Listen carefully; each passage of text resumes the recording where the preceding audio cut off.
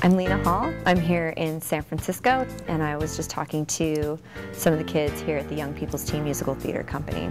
I've been in many shows on Broadway, including Kinky Boots, which won a Tony Award in 2013, and also Hedwig and the Angry Inch, which won a Tony Award for Best Revival of Musical, and I also won my own Tony Award for Best Featured Actress in a Musical for my role as Yitzhak in Hedwig and the Inch.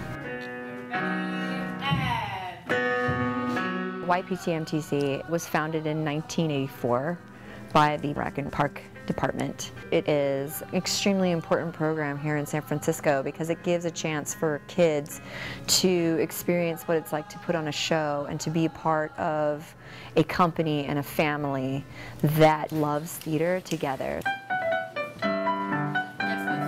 I think being a part of a, a company is important because um, you're all there for the sum of the whole.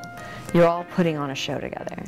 And I think that's just an important life skill to learn how to work with other people to create something. So that can be applied to anything in life. It's just a wonderful way to kind of find yourself as a person and to make real friends too because I made lifetime friends here at the YPTMTC. You want to do what you're passionate about. You'll stay happy and you will stay really into what you're doing. You know, whether, or not you're successful, as long as you're really passionate about what you do, really all that matters. It was so nice to meet you guys. Good luck with everything.